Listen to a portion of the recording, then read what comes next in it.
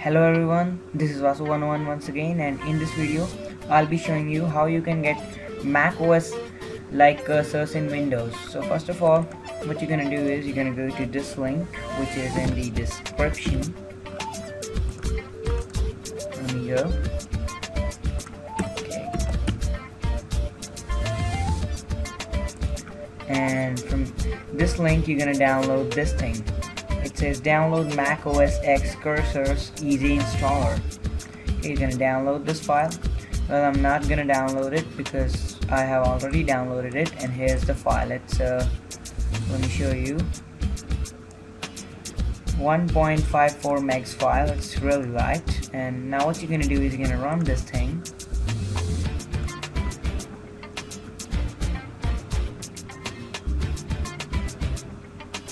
Okay, now this thing will come. It says this will install Mac OS cursors on your computer. Continue. Hit yes. Next. And installation complete. Now hit the finish button. And there it goes. Now it's gonna pop it into there. Now what you're gonna do is you're gonna hit cancel. Right click your desktop. Hit okay. Now what you're gonna do is you're gonna right click your desktop.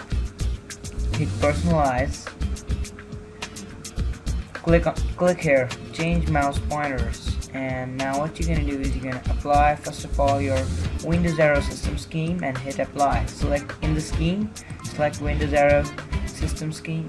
Oops I selected Windows black but I don't care. Now our uh, pointer scheme is Windows black. Now what you're gonna do is you're gonna select the Mac OS X pointer scheme and hit apply.